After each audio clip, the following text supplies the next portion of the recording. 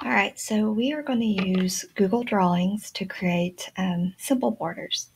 So from your Google Drive, click on New, go down to More, and let's click on Google Drawings. Now I'm going to make a page border. So I'm going to actually go to File and change the page setup from standard to a custom dimension and we'll make it uh, the same size as a piece of paper, 8.5 by 11 inches, and hit OK. And as you can see, that changes the um, size of my drawing canvas.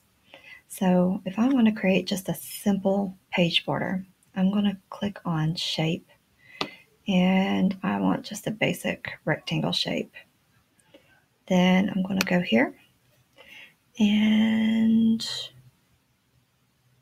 use my guides to kind of help put this rectangle in.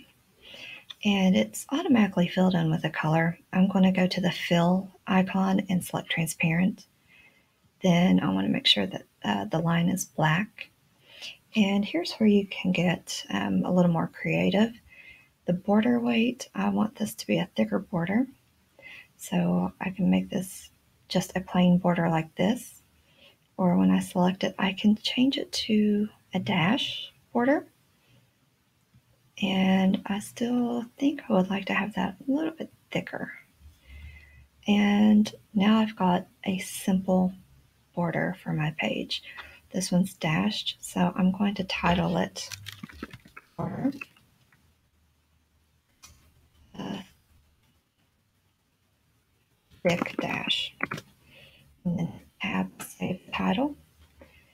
And um, when I want to use it, I can download it as a PNG, which will save this as a transparent background. So I can put it in any type of um, resource that I'm going to use.